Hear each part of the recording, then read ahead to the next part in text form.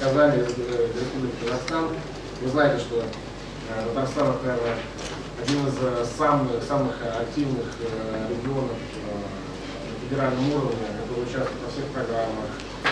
Все заметные проекты реализуемые в России, они, как правило, начинают это начинается вложение из Казахстана. Вот Сергей сегодня поделиться одним из проектов, причем это проект не региональный, это муниципальный проект, который удалось вывести на федеральный уровень. Возможные вопросы, да? Опять же, повторюсь, не собираюсь никого учить, просто решил рассказать, как действовали мы с точки зрения продвижения маленького, абсолютно маленького, 33 гектара промышленного парка в практически, наверное, никому неизвестном, ну, кроме Татарстана, да, в муниципальном районе Телечи, который представляет собой, ну, я сейчас на карте тоже покажу, вы примерно поняли стартовую ситуацию и место этого проекта, да. А, район образовался как-то по феодальному принципу, а, обособившись от более крупного Сабинского района, да, который, опять же, только в Татарстане это практически известен. Да. Он и по площади, и по населению 13 тысяч населения всего да, в районе. Вот примерно такая стартовая ситуация. Я сегодня хотел бы вам э, рассказать, как мы действовали с точки, продвиж... с точки зрения продвижения вот этого проекта на региональном уровне, чтобы о нас узнали в Татарстане, на межрегиональном, чтобы о нас узнали в других регионах, на федеральном уровне, чтобы о нас узнала Москва и чем помогла. И так получилось, что э, мы не остановились, инерция пошла дальше локомотива, да, и мы начали продвигать еще и на межправительственном, меж, как меж, межгосударственном уровне да, проект. Итак, э, примерно вот э, подводя какие-то итоги, начали формулировать некие формулы успеха. Да? Я думаю, все, наверное, ее прекрасно знают. Да? Первое, наверное, такое слагаемое, это вес, авторитет, лобби и какой-то, я не знаю, шлейф взаимоотношений, что ли, стоявшихся с Москвой губернатора. Второе, должен быть всегда какой-то локомотив. Вот в нашей ситуации это был глава муниципального образования, да, наш движок. У него, честно говоря, и прозвище такое локомотив, да. Вот, соответственно, ну, поймите, да, без слаженной, профессиональной, доверяющей друг друга, друг другу команде и чувстве локти вообще невозможно ничего сделать, это как бы тоже все аксиома.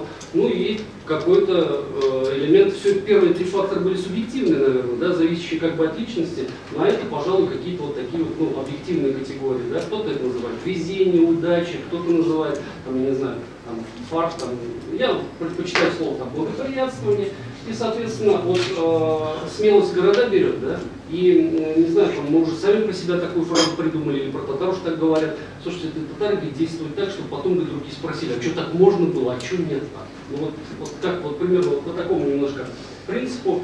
Ну и понятно, вот вопрос я уже упомянул, доверие, который зиждется там на репутации, честности, порядочности и, собственно говоря, вот он, этот кредит мы формировали. Да? Вот, а, собственно, хотел показать вот наша республика Татарстан, видно, кстати, потому что здесь немножко такой сероватый, зеленоватый фон, да? Вот, вот этот вот малюсенький вот островок, да, это вот Тюльчинский район. И по площади, и по населению достаточно такой, скажем так, не, незначительный, да? А вот примерно как он располагается относительно наших крупных промышленных, например, там, инфраструктурных объектов, да? Вот. Так, вы на что-то? Кажется, кажется, да. Наступили на горло собственной песни. Полагаю, что где-то кабель да? Все, проспайте? Давайте, я, чтобы не рисковать, я вот сюда. Потому что... Вот, а, значит, поясню. А, соответственно, самая близкая точка к Тюлечинскому району – это Казань.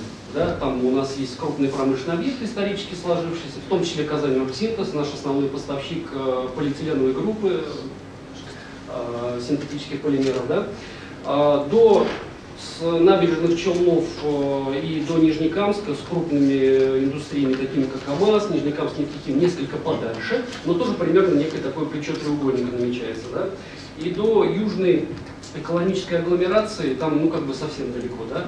А Тюличи э, вообще в 70 километрах от э, Казани. Там э, есть трасса своя, веточка, да. А, значит, как уже сказал, 13 тысяч населения всего, а, сугубо депрессивный такой район, а, специализации преимущественно сельскохозяйственной. То есть вы там увидите, даже если нам повезет тут со слайдиками, да, это выращивание, это откорм, да, то есть абсолютно такие вот сельскохозяйственные показатели, да. Так, это значит то, что мы, ну, не обласкан трассами, скажем так, федеральными, да, и не обласкан э, железнодорожными магистралями, то есть даже до 35 километров. Сами понимаете, с точки зрения как бы какого-то ножа, это, это много, это, это далековато, да. И э, чтобы выехать на федеральную трассу М7, фактически надо приехать 70 километров в Казани, да. Там есть у нас, конечно, по этому по треугольнику, да, по качеству возможности. Вот примерно вот такое вот как бы положение. Да. Это я вам все подчеркиваю, э, что решение главы муниципального района сделать промышленный парк не сельскохозяйственной э, направленности, это было очень смелое решение, если вот так вот можно как бы сказать, да, очень смелое. Э, именно такое вот индустриальное. Ну вот, смотрите, да, там бюджетик, абсолютно, а, это, это численность у нас, причем, заметьте тренд, да, как всегда. То есть вот 70 километров в Казани, оно определяет отток. Это э, достаточно плечо, 70 километров, для маятниковой миграции и вообще э, для точки невозврата, для постоянной миграции, да, то есть оттока населения. Да. Вот, соответственно, вот в такой ситуации надо было бороться. Вот они, быки, площади, гектары, выращивание, центнеры и все как бы вот примерно с этим связано, да, личное подсобное хозяйство и так далее. Не буду комментировать много цифр, в принципе, презентацию организатора выложит, можно будет посмотреть. Вот основные тренды, да. Причем вот этот вот тренд развития промышленных площадок, это новый тренд. Это его задали в 2012 году, вот этот вектор, он пошел. Так, тоже не будем останавливаться. И вот, значит, вот мысль, очень смелая, глава муниципального района. Мы создадим промышленный парк. Сперва надо, конечно, кто воспринимал э, несерьезно, посмеивался, кто воспринимал серьезно, клали так ему на плечо руку, Ильдус, ты хорошо подумал, Ильдус Фатих Зарик, глава муниципального района, да? Вот у нас есть земля, да, ну, собственно, пока вот как бы и все, да, вот с этого вот надо начать. А, выбрали землю недалеко, что, кстати, хорошо, от самого муниципального района, вот село Тюличи, административный центр района, да, вот дорога, которая проходит насквозь сквозь него, еще объездная есть, она вот соединяется уже с магистралями, да, и вот на въезде, скажем так, в населенном пункте, вот это муниципальный парк. А, чем хорошо? Мы обеспечены кадрами, да? То есть вот э, один из моментов, э, который мы рассматриваем с точки зрения позиционирования парка, это обязательно кадровый. Да? Сергей, а сколько в селе живет человек? 13 тысяч. А в районе всего, Нет, в, в селе, селе, в селе. в селе половина. Какими кадрами? Какие кадры? Там все-таки у вас э, хозяйство направлено, да? Вокруг парка. А, по- поясню, еще дальше немножечко раскрою. Вы знаете, специализацию парка выбрали переработка полимеров. Вот а, с точки зрения компетенций технологических инженерных, Казань в этом, слава богу, богата. И, слава богу, для Казани, и плохо для Нижнекамска, из Нижнекамска отток кадров нефтехимических идет все равно в Казань, да, то есть как бы за столичной жизнью, и есть возможность в КХТИ, химико-технологический институт в Казани находится. То есть технологов, инженеров можно набрать не вопрос. А мы сейчас говорим о рабочих профессиях. Те, кто будут стоять у экструдера, не трогая, извините, да, вот эти вот все регуляторы, кто у термопласт автомата будет стоять, кто будет принимать крошку, кто будет сортировать отходы, мыть, там, чиллеры, все вот это вот грануляция, да, и все такое прочее. Мы ничего не знали тогда. И уж тем более, э, меня вообще, честно говоря, тогда в проекте не было, когда вот это вот старт 2012 года ситуация, да, никто не знал вообще, что такое муниципальный, что такое не муниципальный. Ну вот нам так сказали, да, надо, надо действовать. Ладно, соответственно, 13 год. Вектор губернатора в том, что надо развивать промышленные площадки в районах. Оно понятно. Много заброшенных станций, материально-технического снабжения, бывших каких-то э, колонн, да, э, я не знаю, там, кооперативов, бывших небольших промышленных предприятий. Все это осталось, коммуникации есть, надо возрождать. Тренд абсолютно правильный. Да?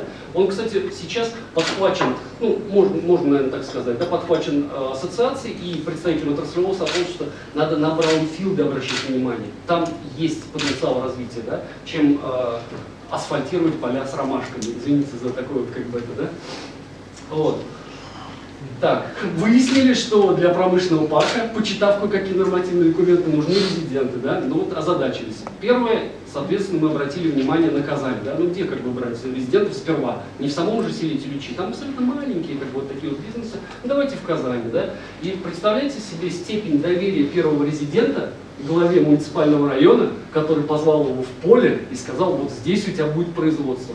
Из наличия только дорога, Электрики еще нет, газа еще нет, воды еще нет. Есть честное слово и удары кулаком по столу главы муниципального района, да, и, собственно говоря, все. Поэтому первый резидент, ему надо при жизни ставить памятник, как, я не знаю, как абоненты, как абонентам ставят Билайн первую золотую, там, не знаю чего.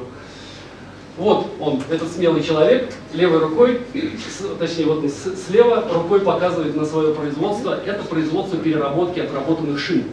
То есть, понимаете, да, выдирают хлор, э, резину, все остальное, срезают там эту обечайку и начинают это перемалывать в разную фракцию, и потом эта крошка идет. Наполнители дорог, асфальтобетонных, да, когда они строятся по технологии, если, опять же, да, многие не кладут. А Она идет в э, покрытие для стадионов, кто-то коттеджи дорожки делает, кто-то еще вот эти все красивые видели, да, то есть спортивные, которые, ну, скажем, травмобезопасные, да, то есть если коленкой упадешь, ногу не раздерешь, как на асфальте, да, резиновая крошка вот. Не говоря уже о плитке и всякой прочей тротуарной и так далее. Вот, соответственно, поначалу в этот парк посмотреть на этот диковинный зоопарк, извиняюсь за сленг, да, то есть я над собой уже как бы коллегами издеваюсь, да, но это было, вот поймите, вот так вот, да. Поначалу приезжали много людей, что за такой индустриальный парк там в этом селе Тюличи. Кстати, благодаря индустриальному парку многие узнали, где находится село Тюличи. Это, кстати, тоже факт такой, да. Вот, соответственно, задавали много вопросов. И вроде производство-то, а, как бы, ну вот, э, инноватики там по большому счету никакой. Обычное, как это, линейное, классическое производство, да, ну вот, вот такая вот как бы цена, да. Как бы новый, новый тренд. Я, кстати, до сих пор его не понимаю, с чего вдруг муниципальный парк, который изначально как бы задумался, и возможности, соответственно, получить финансирование было больше, вот решили ставить он теперь частный, да. Но, видимо, испугались... м, ну, Сергей, ну, говорите ну, прямо, это ваша татарская хитринка, ну что уж. нет, я, я, честно говоря, не считаю это стратегически правильным вектором. Дело в том, что экономики у частного проекта гораздо меньше, чем у муниципального проекта, в принципе. Абсолютно верно. Ну вот, вот я пока не понимаю этого тренда, но это была данность, с которой мне пришлось работать когда, да? А, опять же, никто не знал, не было ни доводов, ничего. Ну так голова сказала. Вы понимаете, у нас в Татарстане очень многое тоже, как и во многих ментальных республиках, делается, но вот было вот поручение. Было поручение президента. Мы его выполнили достойно. Да? Ладно. А, Появилась частная управляющая компания. А, Тогда еще, что интересно, а, в состав управляющей компании обязательно входили первые резиденты. Ну как без них-то? Они, собственно, я так полагаю, и были инициаторами создания некой частной управляющей компании. Чем зря, что здесь появились. Мы как-то должны этим процессом, когда он за рулем, да, то есть по, по управлять. Сергей, а землю передали управляющей компании еще до изменений в земельном кодексе, да? К счастью, да. То есть э, сейчас бы мы это сделать не смогли. Сейчас, э, да, это было бы гораздо сложнее. То есть сейчас, вот, например, нам предстоит э, в 2021 году передача, опять возобновление договора аренды, и надо будет проходить процедуру через агентство инвестиционного развития, масштабный инвестпроект, и все вот это вот то, о чем я вчера немножко говорил. Да? Значит, передали землю, появился указ созидания, началось дай миллион, дай миллион, дай миллион, да, как в книге, книге известного, да, Рустам Нургалевич. А, Он, кстати, любит очень такую фразу, а, она в свою бытность еще б- бытовал, когда колхозы. Отчитывается глава колхоза. Там, уважаемое правительство, колхоз создали, присылайте колхозников. Вот, мы, заложите, пожалуйста, уважаемый президент, деньги в бюджет, да, потому что вот мы собрались тут на конкурс Министерства развития, да, узнали, откуда-то, чего-то, как-то, да, что есть конкурс, опять же, привезли вот этих всех статусных людей. Начались первые вопросы без ответов, методологические наши проблемы, да. Оказывается, говорит, надо было деньги, ну, по условиям до конкурса вкладывать, да. Мне вот это вот понравилось. И вот этот, кто вкладывает деньги, он называется девелопер. Что говорит, прям так и называется, тот человек, который деньги вносит, его так, так называют, что ли, вы поймите, на татарском языке вот это слово, ну, практически, да, это там, не знаю, ругательство, что ли, да, неизвестное. И возник сразу вопрос, слушайте, а раз деньги надо вкладывать, может мы обратно муниципальным станем? Но у вас ведь уже временно-то, извините, вот, до конкурса несколько месяцев, вы сейчас что, расторгать договор аренды будете, все вот это вот поворачивать назад? Первый блин 2013 года был у нас комом, да? сейчас поясню как бы почему. Ну, во-первых, первую причину вы уже услышали, недостаточно было вложений сделано в инфраструктуру, мы стояли только в начале этого пути, да? соответственно, нас, как это говорится, попросили пока, да, с этого конкурса. Вот наши ст- статусные коллеги сказали, ребята, вы еще пока мало вложили инвестиции, да, во все это дело. Наши немножко скисли, почесали там это все. Хотелось бы, конечно, как-то правила игры, тем более, вот, понимаете, вот эта перемена, переход от муниципального парка к частному вдруг, никто правил игры не знает, ничего не понимает, и вот на конкурсе мы наконец-то получили первый набор знаний, да, которые там как опять включился наш локомотив. Уважаемый президент, в первый раз у нас не получилось, дай миллион, дай миллион, дай миллион. И вторая слагаемая это успех у нас, естественно, губернатор, да, владелец регионального бюджета. Он тоже, заметьте, степень доверия к парку, степень доверия к главе, команде, 26 миллионов. Вы знаете, честно говоря, у нас единицы потом, после вот этой ситуации, парковых структур получали вот так вот целевые деньги. Я два-три примера всего знаю. Дал денег для того, чтобы подвести электроэнергию к парку, раз уже первый резидент появился. Ну, там, понятно, мы ему обеспечили, точнее, район обеспечил ему, вот там два места, А, обеспечил ему а, подключение к электроснабжению по временной схеме. И э, что хорошо, ну вот в основном деньги действительно пошли на коммуникации на дороге, да? Здесь нас уже коллеги стали учить правильно. Я не поставил здесь ударение. Правильно говорит? Бегаю, я говорю, ага, так, понятно. Нам срочно нужны какие-то отраслевики, да, которые нас подпитали бы знаниями, экспертным мнением. Я думаю, все вы прекрасно знаете эти две персоны. Их советы вот реально бесценные, да, потому что мы задавали такие... Ну скажите, кто это? Не все знают, может быть. А, Айрат Гизатуллин, а, Технополис Кинград, город Казань, Фарид Закиров, а, индустриальный парк Кикмастер. Рядом, значит, э, специализация производства малотоннажной химии и полимеры. По большому счету это наш большой конкурент. Но малыши, которые проскакивали вот через как бы сито да, отбора, а, релокировались в Тюбичах. У нас была очень интересная ситуация. В Химграде на тот момент произошло наполнение производственных площадей. То есть Химград был заполнен, он тогда не успел построить там свою очередную пятую там, или шестую очередь. Да? И, соответственно, малыши, кому а, нужны были помещения, например, да, или кто хотел обособиться, они в этот момент спокойно могли перейти в промпарк Ильичи. Химград на нас не обиделся, потому что, ну, в принципе, рынка всем хватит, полимерщиков достаточно много. Да? Вот. А, И, а, значит, э, Фарид Закиров, кикмастер, это промышленный парк, достаточно серьезный. Он, кстати, сейчас, по-моему, первый да, в России по объему обслуживаемых э, площадей. То есть они лидеры. Да. лидеры. А, возник на базе э, бывшего одного из производств КАМАЗа а, с точки зрения локализации, кооперации и э, как сказать, консолидации всех поставщиков КАМАЗа первого второго уровня на одной площадке, чтобы возникла синергия, э, кооперация и так далее. да. Соответственно, вот ребята, которые уже не первый раз ходили в конкурс Минэкономразвития, правда, по Брауну, Филд Парку, нам приходилось еще на Гринфилд там все это делал в но вот их советы вот в самом начале пути это шикарнейший вклад был вот, э, как бы, в успех нашего безнадежного дела. Ну, тут появились мы, опять же, сказать, слушайте, ребята, мы, нам, скажем так, они вежливо сказали нам, что э, надоели нам ваши идиотские вопросы, уже в конце концов привлеките кого-то, да? Соответственно, они э, посоветовали нас, мы подключились к проекту, мы поняли, что нам чуть ли не ежедневно нужны советы отраслевого сообщества. Мы стали членами деловой России, мы вступили в ассоциацию, мы жадно впитывали всю информацию, которая исходила от этих структур. Мы там посещали все, практически старались посетить все профильные мероприятия, да? особенно где аналитика какая-то давалась. Мы пере, перелопатили горы информации, потому что для нас тогда вот отрасль была абсолютно как бы новой, да, и мы делали первые шаги. Соответственно, низкий поклон ассоциации и всем, кто нас консультировал и кто, кто отвечал на наши глупые вопросы, вот э, люди, с которыми мы на, на заре начинали работать, да? Скажу сейчас на фотографии. А? Я говорю, какая у вас на фотографии, пересните. А, э- э- это, это в вашем каталоге. Это ассоциация.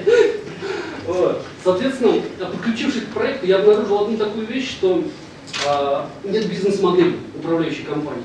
Парк был задуман как муниципальный, то есть а, управляющая компания не задумалась, или у нее не было вообще никаких статей дохода, и все предназначались все земельные участки для передачи в аренду или передачи да? То есть не было даже, ну вот как э, да?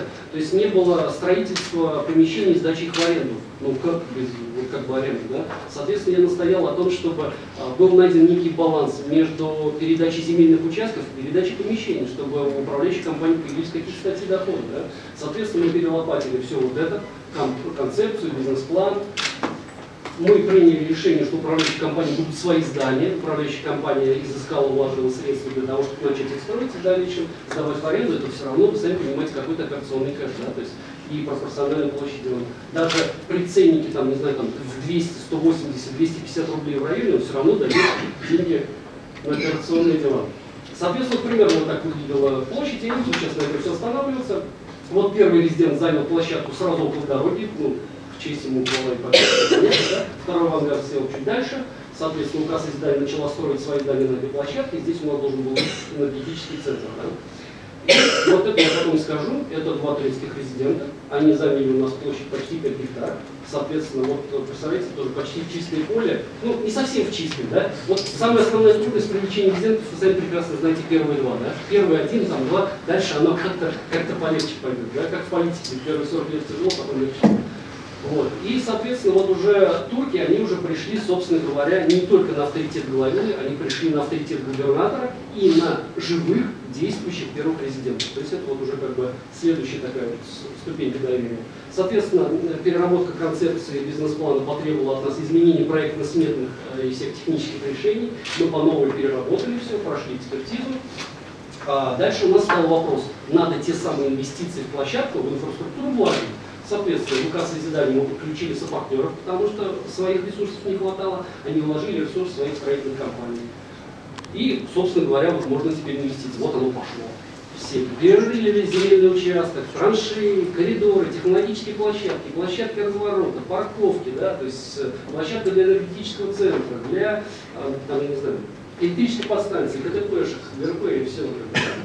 В Казани была такая ситуация перед тысячелетием, перед кортежем правительственным заливали последние метры асфальта. То есть так время добывали, когда не успевали. Здесь примерно то же самое. В ночь перед заливкой сдачи. Да? Ну, как и все в России. А, соответственно, вот власти помогали нам искать резидентов в Казани и так далее. Вы знаете, как вот важно, а, чтобы, во-первых, надо называть парк так, чтобы его заполнили первые лица. Не надо называть его как-то вот там по по западному, по современному, ну, смотря кто у вас как бы глава муниципального образования, да? У нас глава муниципального образования татарин, такой коренной, простой, там, со средним образованием, поэтому у него парк должен был называться, как его населенный пункт за него называется, Тюличин. Соответственно, чтобы губернатор это запомнил, чтобы все остальные чиновники, потому что они должны это запомнить, они должны сесть глубоко, они должны это проговаривать, хотя бы там одно слово из сотни слов для инвесторов должно звучать название парка, поэтому яхту надо называть правильно, да? И э, все время надо усиливать нажим, продвигайте нас, продвигайте нас, продвигайте нас. Вы знаете, государственная машина раскачивается долго, но потом и останавливается, как бы, да, то есть с. Соответственно, есть некая инерция.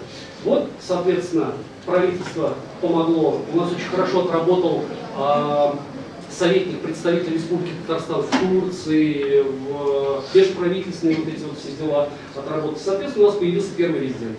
У них тоже специализация полимерная, они производят товар народного потребления, все виды корзин, а, контейнеров, прозрачных, непрозрачных, ящиков, там, а, хлеба, как это называется, хлебниц, все, что у хозяйки дома есть из пластика, да, вот, соответственно.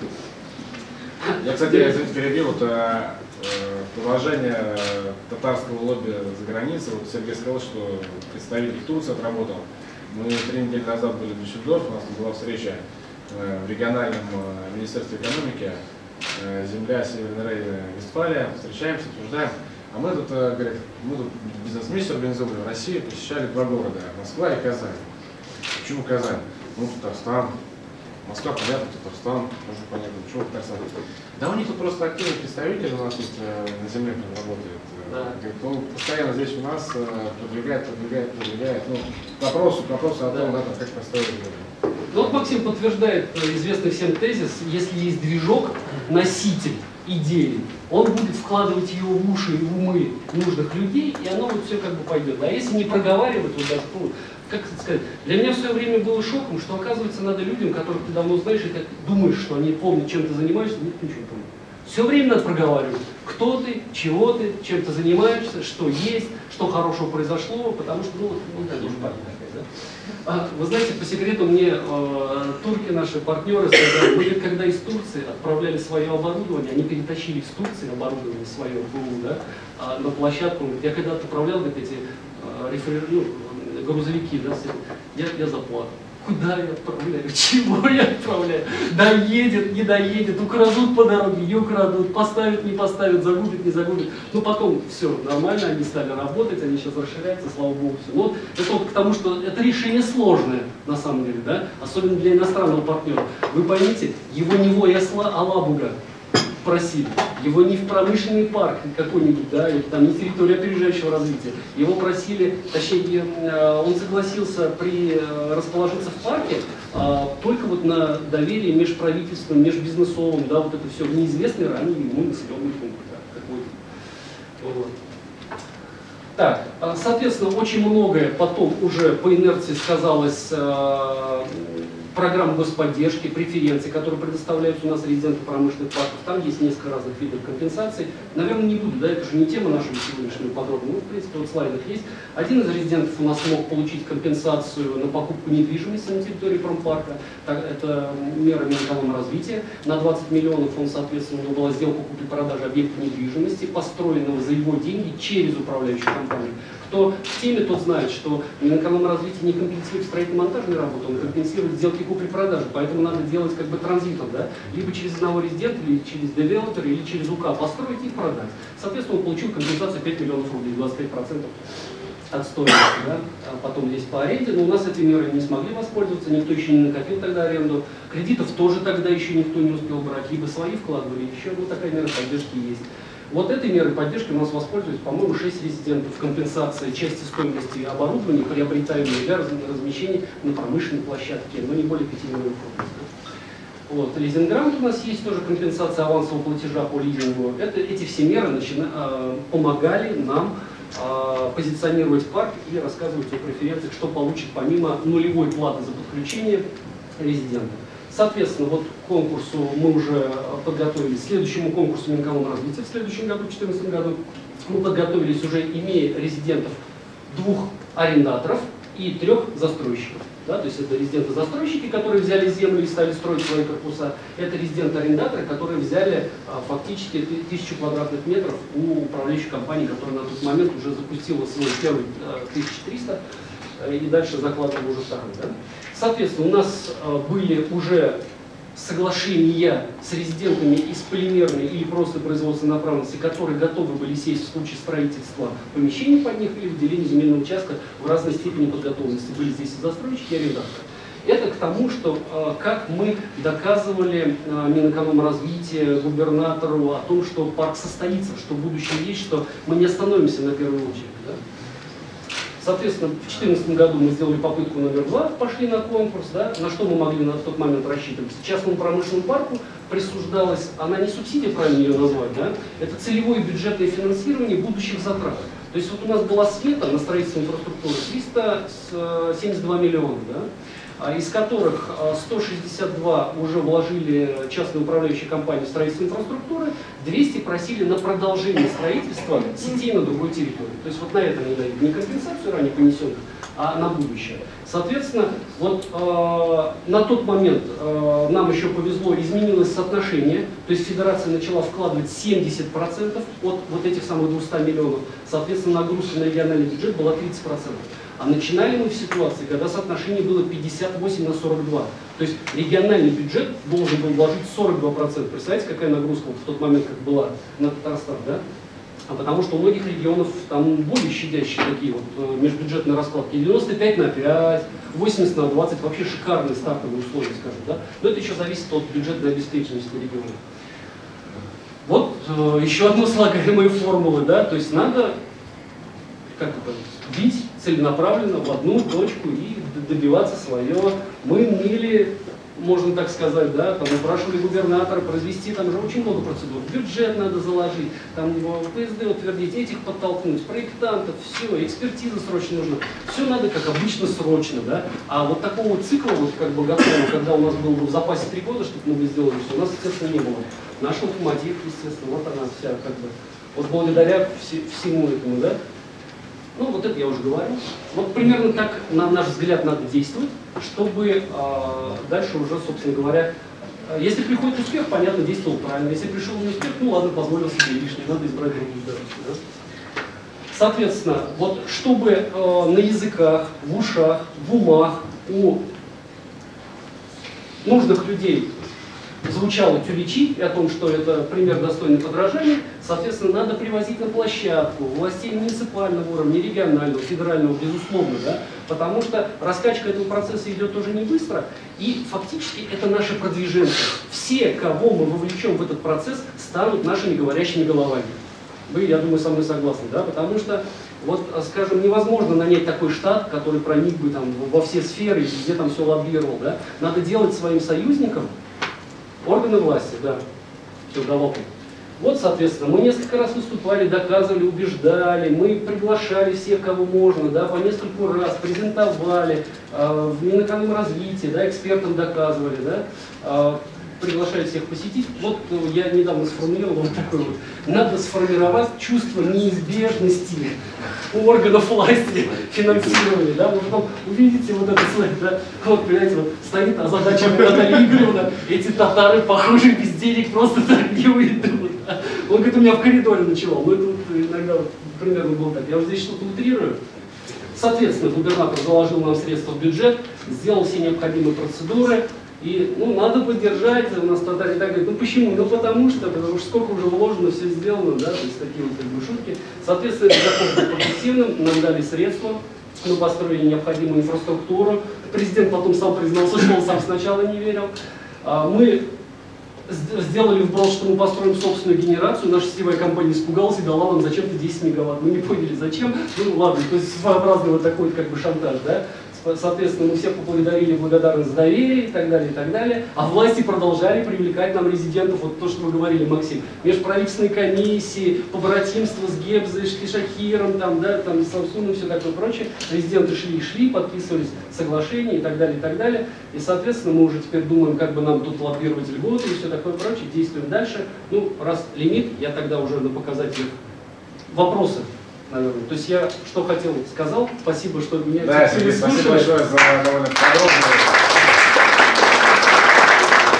главное, очень э, живой рассказ. Э, Коллеги, э, вопрос к залу. Мы сразу вопросы будем задавать или в конце?